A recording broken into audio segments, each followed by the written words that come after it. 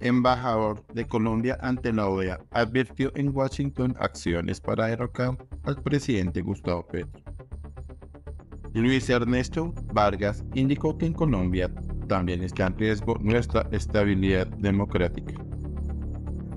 El embajador de Colombia ante la Organización de Estados Americanos OEA, Luis Ernesto Vargas, aseguró ante los representantes de los diferentes países de la región que en Colombia existen acciones sistemáticas encaminadas a derrocar al presidente Gustavo Petro.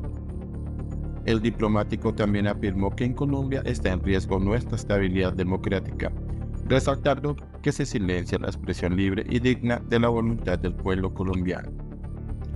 Luis Ernesto Vargas recordó que el 11 de septiembre de 1973, hace 51 años, sucedió el golpe de Estado en Chile, explicando que ese hecho quebrantó la democracia y se violaron los derechos humanos de millones de personas, con un golpe de Estado en Chile que empezó a gestarse un año antes con un paro camionero que paralizó al país.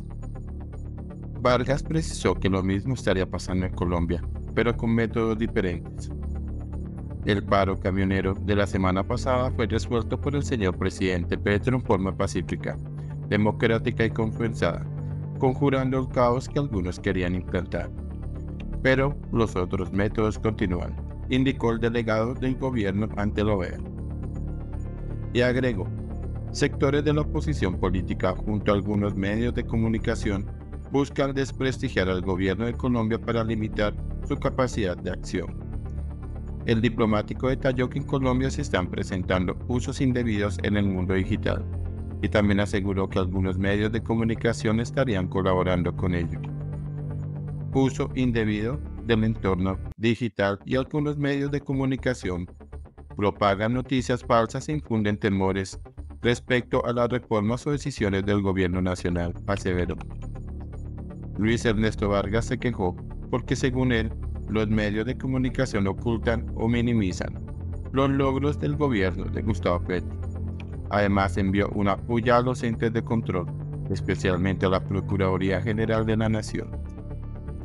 En Colombia, pese a las sentencias de la Corte Interamericana de Derechos Humanos, aún hoy se exhiben actos administrativos que suspenden derechos políticos, con especial sesgo contra los congresistas de la coalición de gobierno, precisó.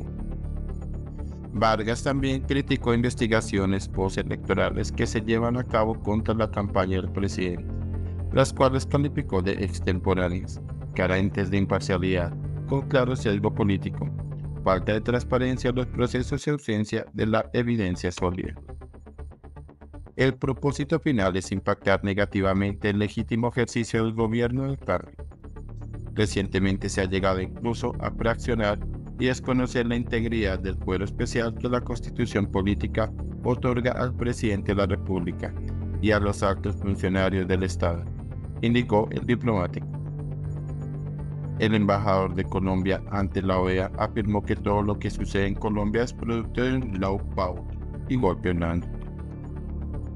Es la nueva forma de derrocar gobiernos mediante campañas de desinformación, acoso jurídico, abuso de procedimientos e instrumentalización de instituciones que permiten emprender juicios políticos y propiciar la destitución abusiva de un presidente, indicó. De acuerdo con Vargas, el objetivo sería cercenar los derechos políticos de un gobierno, resaltando que eso llevaría a respetar el voto de los ciudadanos que eligieron a Gustavo Petro. Ha acudido a los recursos que ofrece el andamiaje institucional y normativo colombiano para controvertir las decisiones contrarias a la Constitución de Colombia, aseveró. Por último, el embajador de Colombia ante hizo un llamado a los Estados miembros de la Organización de Estados Americanos para hacer un frente a los ataques a las democracias en la región. Evitar así que lo ocurrido hace 51 años se repita una vez más, esta vez contra el primer gobierno progresista en Colombia, puntualizó Luis Ernesto Vargas. El presidente Gustavo Petro, a través de su cuenta X, ha manifestado en más de una ocasión que en Colombia se está perpetuando el supuesto golpe de Estado en su contra. Cuando el facio de Ordóñez quiso sacarlo de la alcaldía, burlando el voto popular solo porque yo era progresista, aduciendo una sanción disciplinaria, que no es de juez sino administrativa, porque no le prorrogué el contrato a los áreas del aseo y se lo entregué a una empresa pública y a los humildes recicladores, indicó el jefe de Estado. Por tal motivo, volvió a llamar a la ciudadanía para que realice nuevas marchas para defender su mandato. Aquella vez el pueblo bogotano fue determinante. Seis veces llenó la Plaza de Bolívar. Esta vez le toca al pueblo colombiano y ya no es llenar la Plaza de Bolívar, sino ir por el poder.